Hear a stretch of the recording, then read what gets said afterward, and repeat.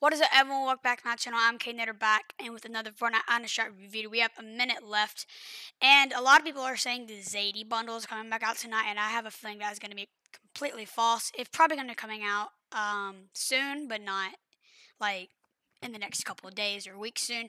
Maybe next month. Um, that's when a lot of people are saying it's going to come out. But other than that, it's a pretty cool item shop. Um, yeah, so, don't really have too much to be talking about other than this is like one of the worst skins in the game. And somehow this is actually becoming quite sweaty, uh, the hot dog skin. So, I, uh, I really hate it, but a couple of you said you like it. Worst thing in the item shop, either, yeah, the Brat or the Bracer. Hate the Bracer a lot as well. Um, I know a lot of people like the Arctica, which also I hate. So, I'm gonna be honest, kind of a trash item shop. Haze is probably the best thing in it.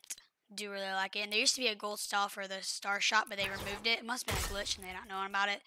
Alright, new item shop. Oh, okay, well, time to do a review. Heady Hearts. Hardy Hearts, okay. Shogun. Hate this gun. Alright, so, um, the new female style for the tier 100. This is an amazing glider um, the pickaxe.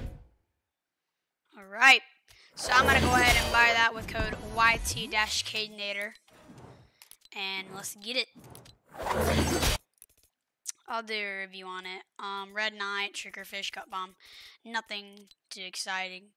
Kind of a cool wrap. Alright, so that is it for tonight's item shop. Uh, if you like my content and you want to support me, please consider my supporter creator code YT-Kadenater in the item shop to support me. It really means a lot and helps a lot. Thank you guys for watching. Until next time, goodbye.